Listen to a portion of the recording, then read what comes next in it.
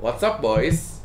Jadi hari ini kita balik lagi dengan laptop review dan yang mau kita review kali ini yaitu laptop dari Asus nih, seri ZenBook-nya dengan tipe UX410UQ.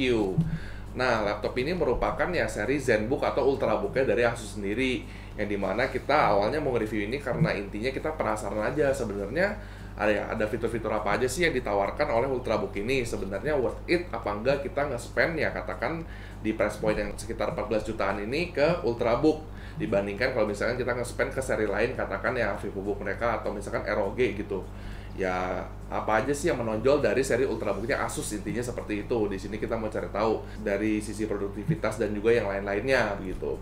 Nah langsung aja kita ngomongin spesifikasinya sedikit nih. Ya biar tahu aja jelas di sini udah pakai i7 7500U Udah gitu di sini udah ada dedicated GPU-nya juga nih, pakai dari Nvidia GT 940 MX nih.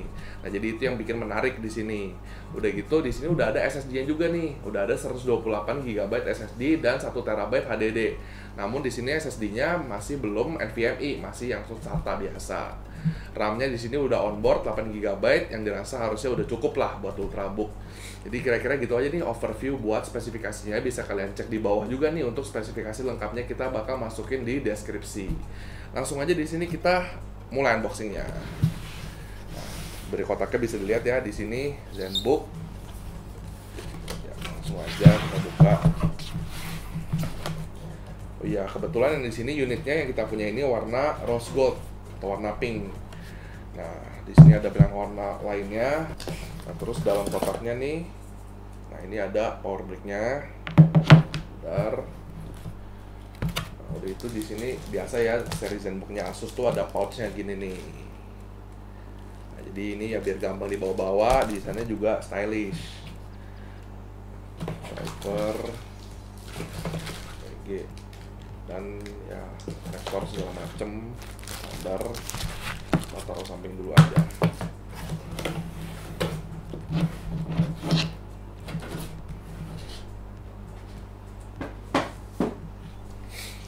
Nah, sekarang kita fokus ke laptop unitnya nih di sini Asus UX 410 UQ. Nah, kelihatan banget nih di sini dari desainnya tuh bener-bener stylish banget karena memang di sini dia pakai reflektif brush metal begitu ya. Nah, memang ini andalannya dari Asus sendiri, Zenbook tuh gini, desainnya tuh melingkar begitu. Dilihat juga udah bagus banget.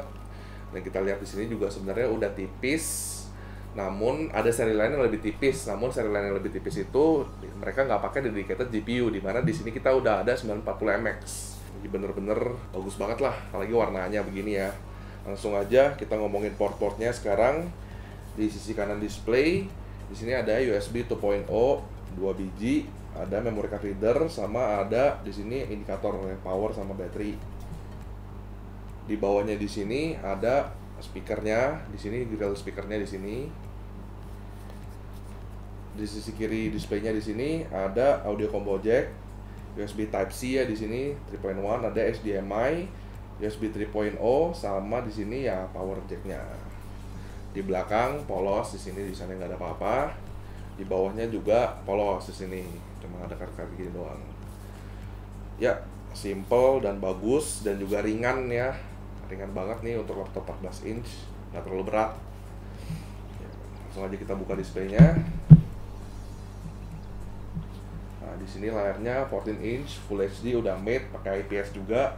Dan kita bisa lihat nih di sini highlight itu bezelnya bener-bener tipis nih di samping nih. Nah, jadi kita lihat tuh udah pasti imersif experience-nya pas kita lihat layar ini. Udah gitu, di sini juga touchpad-nya bener-bener enak nih, smooth banget. Jadi itu kliknya bener-bener halus banget, halus dan padat begitu. Ketahuan kalau misalkan touchpad bagus tuh begini. Udah gitu di dalam sini juga materialnya biasa, metal biasa. Nah, dan ini keyboardnya. Impresi pertama sih pas dipencet lumayan nih karena keyboardnya agak nonjol. Jadi bener-bener pencetnya enak. Dan exhaustnya ada di dalam sini. Nembak ke arah display. Ya itu aja. Langsung aja kita boot up dulu ya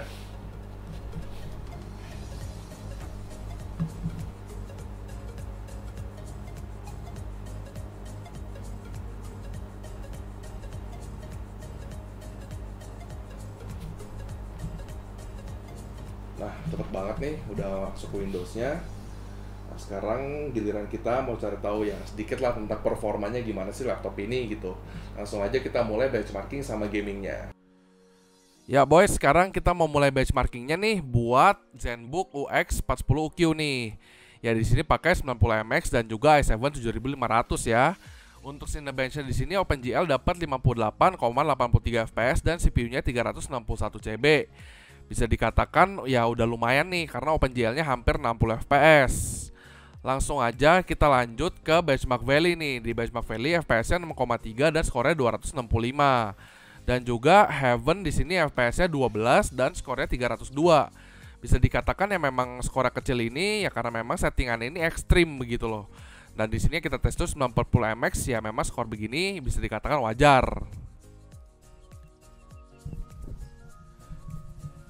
Nah boys, sekarang di sini kita mau ngetes gamingnya secara singkat nih di ZenBook UX 410 UQ ini.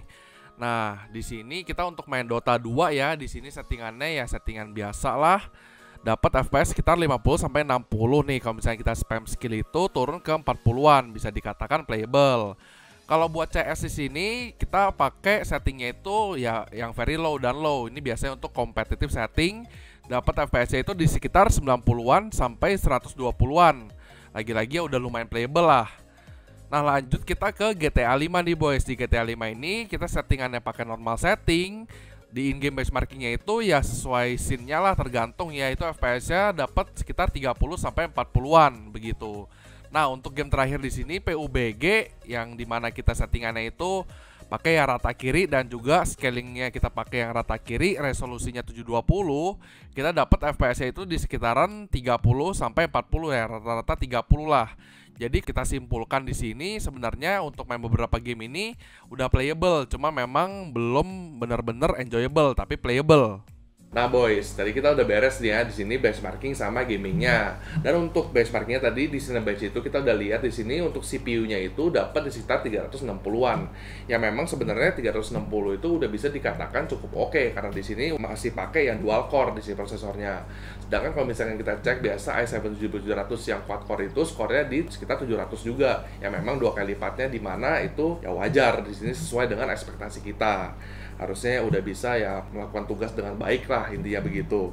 Ya dan misalkan untuk gamingnya juga di sini ya intinya bisa lah buat main game MMO kayak Dota, CS cuman kalau misalkan mau pakai buat main game triple A di sini ya pasti lebih berat masih agak berat gitu nggak terlalu mulus intinya kayak gitu aja. Nah lanjut kita ke fisiknya di sini. Jadi saya ada beberapa poin nih beberapa poin pribadi yang mau saya bilang di sini yang oke okay dan yang nggak oke-nya di sini langsung saya bahas saja. Pertama itu di touchpadnya. Di sini touchpadnya menurut saya oke okay banget nih karena memang responsif dan juga klik kiri klik kanannya bener-bener terdefinisi dan ini kliknya padat gitu, nggak nggak nggak klangki lah, gimana nggak rongsokan gitu, enak banget. Udah itu dari build quality-nya sendiri di sini juga udah berasa banget nih padat banget nih laptopnya udah itu di sini juga layarnya gampang banget naik turunnya udah mantep banget lah memang ultrabook dari Asus ini. Dan lanjut lagi kita ngomongin di sini layarnya juga nih di sini displaynya juga udah colornya tuh pop out banget nih warnanya bener-bener terdefinisi lah udah enak banget liatnya. Udah gitu di sini webcamnya sendiri juga udah bagus kita udah coba nih bisa dilihat di sini fotonya hasil webcamnya. Nah di sini bener-bener ya udah lumayan banget nih webcam bawaan dari laptop ini Udah gitu lanjut ke keyboard nih. Nah, di sini keyboardnya sih impresinya udah lumayan lah biarpun kurang tactile di situ ya agak sedikit kurang mantep lah, kurang clicky gitu. Sama di sini juga kalian lihat Nah di sini backlightnya itu kurang kelihatan lah backlightnya nggak terang banget gitu. Oh ya ngomongin soal terang di sini juga ada sedikit kekurangan di layarnya nih. Nah layarnya seperti tadi saya bilang memang udah pop out tapi nggak bisa terlalu terang banget. Nah coba saya naikin di sini. Nah ini udah maksimal tapi layarnya nggak terlalu terang gitu intinya. Nah jadi di sini mungkin ya sedikit minus point lah. Memang bagus tapi nggak terlalu terang. Udah gitu untuk yang selanjutnya di sini saya mau ngomongin yaitu speakernya nih. Nah speakernya yang terletak di bawah ini bagusnya itu dia nembak ke kita. Jadi speakernya itu ngeface kita gitu.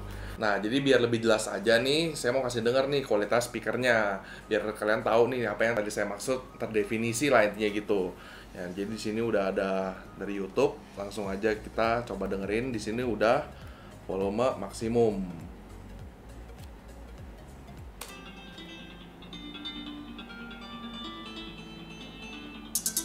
I don't see you go like that, I'm not say that I'm proud. Thinking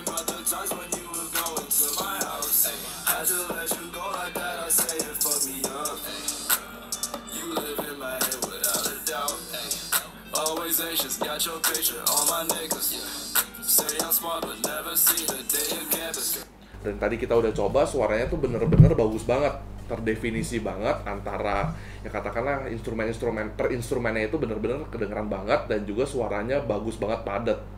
Tadi kita udah coba dengan lagu, bener-bener bass-bassnya, drum-drumnya, instrumen segala macam bener-bener kepisah dan kita denger tuh enak banget, imersif banget intinya kayak gitu.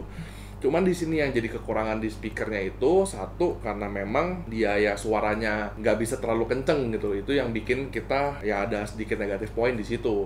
Jadi karena memang speakernya ini nggak bisa terlalu kenceng, tapi karena itu juga jadi suaranya sama sekali nggak pecah pas kita pakai. Minusnya cuman karena memang nggak bisa terlalu kenceng. Jadi lebih ke personal use lah, nggak bisa kita buat sharing-sharing. Misalkan kita bawa laptop ini ngumpul nggak terlalu kenceng gitu suaranya. Nah udah gitu terakhir kita mau ngomongin soal baterainya nih. Nah baterainya di sini di, udah pakai baterai yang 48 watt hour. Apalagi di sini udah pakai arsitektur yang katakanlah dual core ya prosesornya di mana itu di ultrabook kayak gini udah pasti baterainya bakal efisien banget. Nah di sini 48 watt hour itu bisa buat kira-kira setengah harian lah harusnya lewat gitu. Katakan itu pemakaian normal kita pakai buat nugas kita pakai buat ngantor meeting presentasi segala macem kayak gitu bisa lah setengah harian lewat dengan baterai 48 watt hour yang ada di laptop ini. Ya kira-kira gitu aja reviewnya. Intinya laptop ini untuk ultrabook dari Asus kali ini bener-bener nggak mengecewakan deh. Di harga yang sekitar 14 jutaan ini udah mantep banget. Kantor ringan segala macem bagus layarnya speakernya oke untuk entertainment juga udah oke banget Ya, jangan lupa di like videonya, di share ke teman-teman, di subscribe ke channel kita North Boys, dan komen di bawah kalau misalkan kalian punya katakan request apa pun itu yang masih berbau teknologi, boleh komen di bawah. Saya Bola, signing out.